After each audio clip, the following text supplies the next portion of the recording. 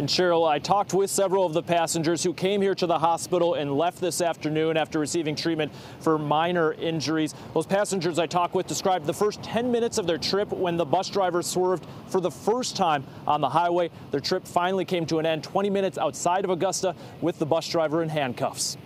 He'd probably been completely drunk while he got on the bus or inebriated in some way while he got on the bus. Sorayas Kataria says within minutes of their trip from Atlanta to Augusta, the bus driver swerved, alarming everyone on the bus. A passenger shared this photo of the driver, Stephen Hoppenbrower, being walked away from the bus after the crash. The only scene or only image of him that I have was him walking with four state troopers towards uh, their patrol cars. And then immediately after that, I saw them giving a breathalyzer and a sobriety test.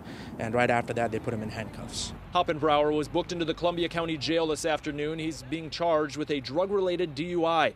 Kataria says 20 minutes outside of Augusta, the crash happened. The bus left the roadway, went onto the right shoulder. The driver overcorrected, flew back over both lanes and onto the median where the bus flipped. And as it was scraping along the bottom of the grass in the median, uh, a lot of people got injured because the, because of the broken glass. 12 passengers quickly got off the bus, but six could not get off until minutes later when first responders rescued them. At least three people who've uh, got compound fractures and two who have broken backs. Kataria says Hoppenbrower was the only one with a seatbelt on the bus and walked away uninjured.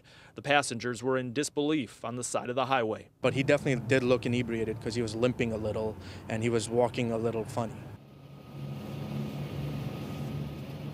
And tonight, Stephen Hoppenbrower is charged with that drug-related DUI and also failing to maintain his lane. But the Georgia State Patrol investigation is not yet complete and more charges could be added. Reporting in Augusta tonight, I'm Joe Henke, 11 Alive News.